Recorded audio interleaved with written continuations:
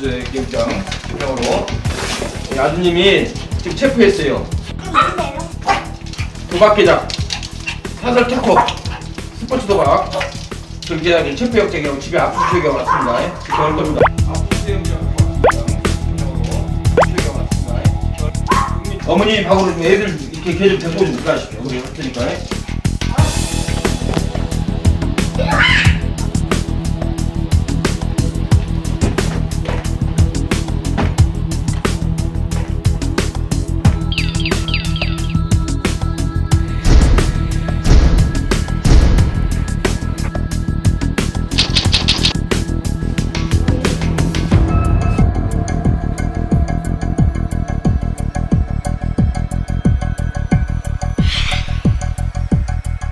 다른 데 있으면 또 얘기해 이거.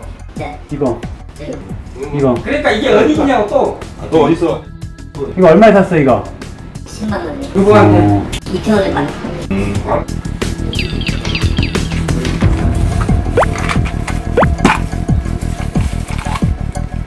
이거 뭐야 이거? 이게 약 이름이 뭐야? 그거 엑스터시. 야 이거 뭐냐? 이거 대마치냐 뭐냐? 너희 그렇게 어디 샀다고 이거를